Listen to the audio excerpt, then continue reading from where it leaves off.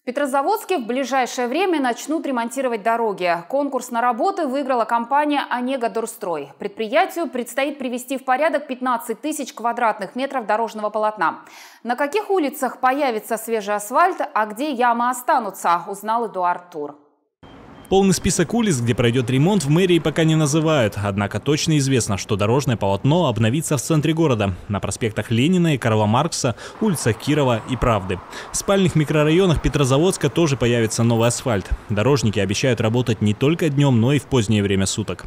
Есть ряд объектов уличной дорожной сети, где выполнение ремонтных работ днем, к сожалению, практически невозможно. Поэтому здесь уже и существует договоренность с подрядчиком, что ряд улиц придется ремонтировать э, ночью, поскольку из-за скопления транспорта э, в принципе не представляется возможным. Тем не менее, около 50 дорог в разных концах города останутся с ямами. Это Суаярское шоссе, Ленинградская, Мурманская и Университетская улицы.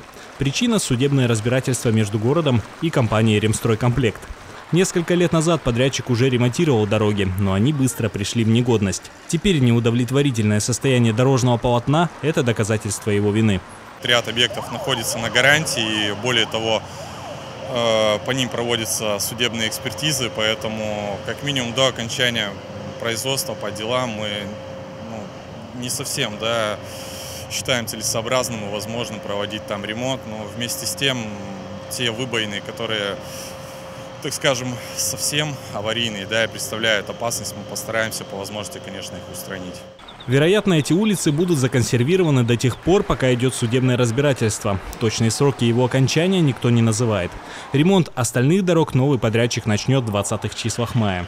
Эдуард Тур, Александр Борисов, Сам ПТВ 360.